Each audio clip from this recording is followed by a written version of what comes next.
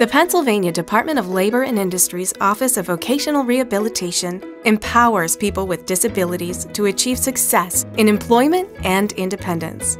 Last year, OVR partnered with 6,000 employers to assist over 9,300 residents of Pennsylvania with disabilities in accessing real jobs with real pay. In Cambria County, the Alternative Community Resource Program and our Hiram G. Andrews Center are collaborating to create externship and employment opportunities for students with disabilities. Meet Nick Strosser, employee at ACRP. This is his story.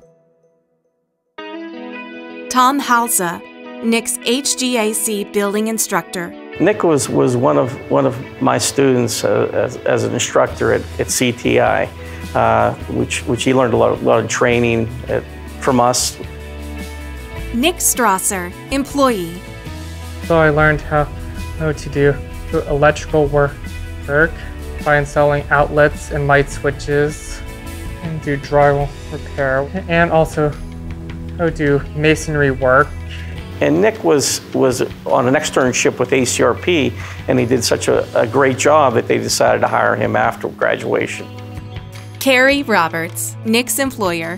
Nick was pretty quiet whenever he first started. Um, he was actually on my grass cutting crew and he was pretty quiet, really wouldn't say, say much. You'd talk to him, you'd get a little one word answer here and there. Um, but by the time he was done, we had him singing in the back of the truck.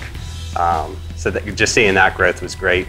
Well, I have an apartment of my own, and I have been getting to work, work as well. well and by that I've been driving here, here a lot. And I've always been coming on time.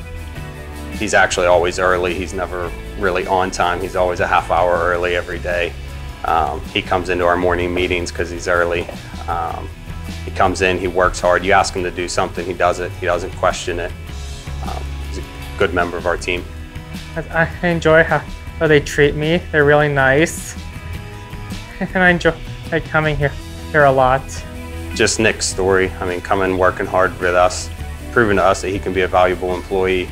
I really like seeing their growth from day one to whenever they finish with us. Um, it might be a huge growth, could be something little, but every little thing is meaningful to us and it's rewarding for us.